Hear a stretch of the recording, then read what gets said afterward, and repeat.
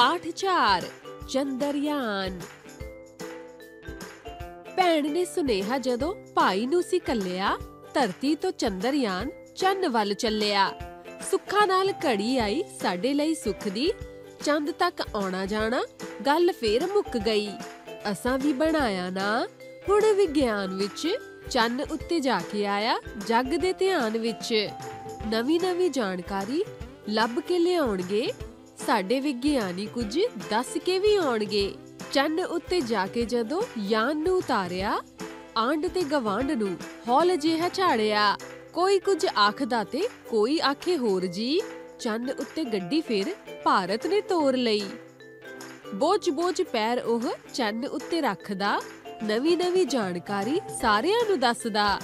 ਚੰਦ ਤੱਕ ਜਾਣਾ ਕੋਈ ਵੱਖਰੀ ਕਹਾਣੀ ਨਹੀਂ, ਚਰਖਾ ਤੇ ਚਰਖੇ ਦੇ। ਨਾਲ ਕੋਈ ਨਾਨੀ ਨਹੀਂ। ਚੰਨ ਉੱਤੇ ਜਾ ਕੇ ਜਦੋਂ ਧਰਤੀ ਦੀ ਝਾਤ ਪਈ, ਸੱਚ ਜਾਣੋ ਗਿਆਨ ਵਿਗਿਆਨ ਦੀ ਸੀ ਬਾਤ ਪਈ। ਪੜ ਕੇ ਪੜਾਇਆ ਕਰੋ, ਰੁੱਖ ਹੁਣ ਪੁਲਾੜਦਾ, ਸਾਰਿਆਂ ਲਈ ਰਾਹ ਇਹ, ਗਿਆਨ ਵਾਜਾ ਮਾਰਦਾ।